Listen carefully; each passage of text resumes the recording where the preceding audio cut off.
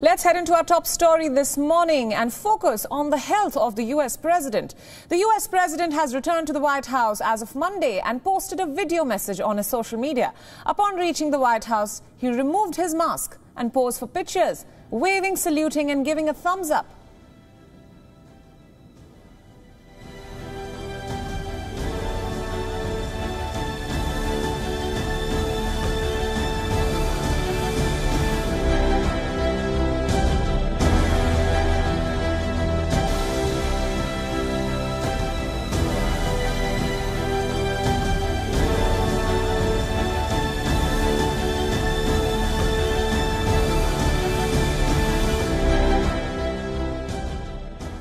I just left Walter Reed Medical Center, and it's really something very special. The doctors, the nurses, the first responders, and I learned so much about coronavirus.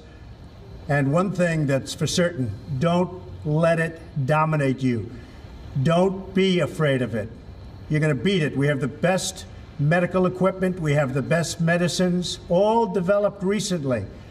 And you're going to beat it. I went, I didn't feel so good and two days ago, I could have left two days ago. Two days ago, I felt great, like better than I have in a long time. I said just recently, better than 20 years ago. Don't let it dominate. Don't let it take over your lives. Don't let that happen. We have the greatest country in the world. We're going back. We're going back to work. We're going to be out front. As your leader, I had to do that. I knew there's danger to it, but I had to do it. I stood out front.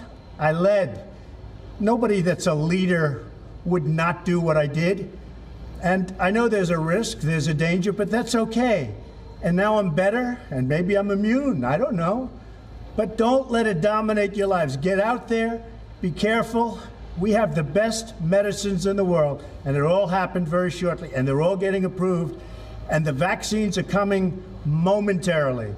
Thank you very much. And Walter Reed, what a group of people. Thank you very much. Now, for more insights about the U.S. president's rather grand return to the White House, we are now being joined live by Jagriti Dave from Washington, D.C. Thanks for joining us, Jagriti. Now, tell us, what do experts and critics make of Trump's recent video message where he removed his face mask and told the people not to fear COVID-19 at a time when the U.S. remains the worst affected country with more than 7.6 million COVID cases?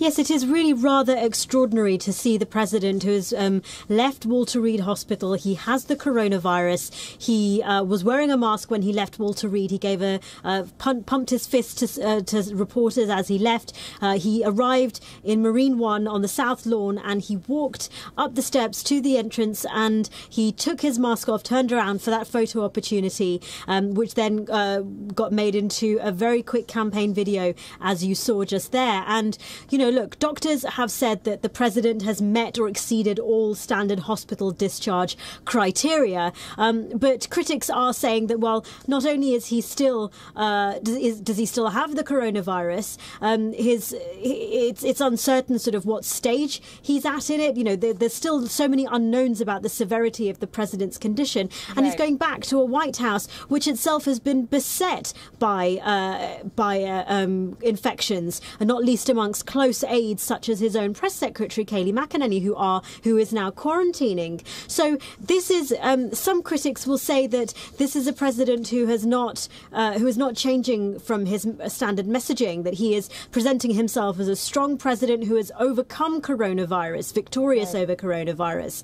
You know, others will say that well, the president from previous videos has said he's learned a lot about coronavirus. Perhaps he might um, later down the line change uh, some of that uh, language about coronavirus and sort of urge more people to wear masks. He is taking telling people to take care, but you know, as we heard from there, he is not, there is, doesn't really seem to be much difference from how he spoke about the virus, about the pandemic before. And so, as I say, many questions still to be answered, which uh, health professionals are not uh, yielding those answers as to, you know, what exactly, how severe the president was when he was in Walter Reed. Right. Now, political pundits say that this photo op was a remarkable attempt to convert his still ongoing disease into a show of strength, even as more than 200,000 Americans have died of COVID 19. So, how is this overture being perceived before the U.S. election? Yes, as, as we've just talked about, this is clearly um, a show of strength from the president um, that he has overcome the coronavirus. That it is um, the the show of uh, you know the, the, way he talked about um, leaders taking uh, t- going taking the front line. Um, you know, this is he's presented this as a war against the coronavirus, the invisible enemy, as he said so many times, mm-hmm. and he has emerged victorious. And this is a president who's not been on the campaign trail because of his um, condition, and so he he thrives on those face to face face interaction, those personal, those rallies, those face to face rallies, which have been criticised for their lack of social distancing and a very little mask wearing that has been taking place. And many of those events that the president has held are being scrutinised now um, uh, because as potential um, places where the coronavirus could have spread, notably um, the event he held where he introduced his Supreme Court nominee uh, in the White House Rose Garden uh, the last weekend. Um, very few people wearing face masks and very few, very little social distancing happening. But he's right. not really been able to now do that because he has tested positive. His rival, on the other hand, has been out campaigning, um, and he's been Joe Biden has been in Florida. Mm-hmm. He's due to go to Pennsylvania. He has been doing well nationally in the polls. Uh, recent polls suggest that uh, Joe Biden's lead has been extended. So this is a president who is attempting to catch up and you know double down on that show of strength as a result of his um, of, of, his diagnosis. Right. Uh, a few other things that stood out in that video message that we just played out for our viewers. Of course, the president praised the U.S.'s health infrastructure and also said that a vaccine against COVID-19 will be available momentarily. Now, does the president's statement have any evidence backing it? Because, as we know, the global race for a vaccine against COVID 19 is on, but it seems that a viable vaccine won't be available by next year at least.